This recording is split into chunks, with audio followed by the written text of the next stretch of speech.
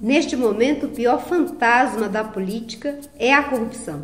Negar essa realidade é não ter dignidade cívica e compromisso com os rumos do país.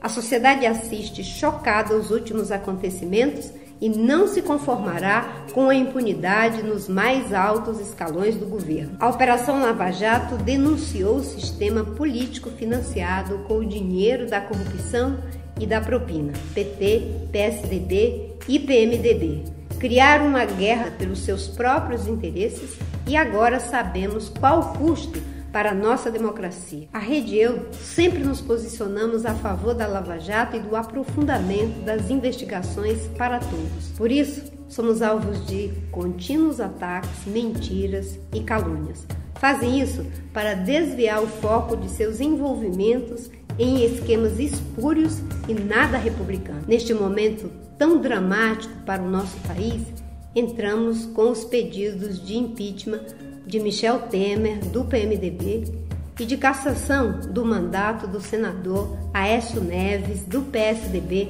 na Comissão de Ética do Senado. Mas, como o presidente não teve grandeza para renunciar, repito e ressalto: ele não tem condições de continuar governando o país. Se seguirem nos atalhos e acordões com uma eleição indireta, o que teremos como resultado é um aprofundamento cada vez maior da crise. O que há de mais importante é o julgamento no TSE, como venho dizendo desde 2015. As instituições precisam ter o sentido de urgência.